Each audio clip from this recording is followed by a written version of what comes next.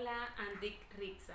Aquel poema està escrit per Amado Nervo. M'encantava quan era petita perquè solien dir-ho a les escoles. Es El barquito de papel. Con la mitad de un periódico y sin barco de papel, en la fuente de mi casa le hice navegar muy bien. Mi hermana con su abanico sopla y sopla sobre él. Buen viaje, muy buen viaje, barquichuelo de papel.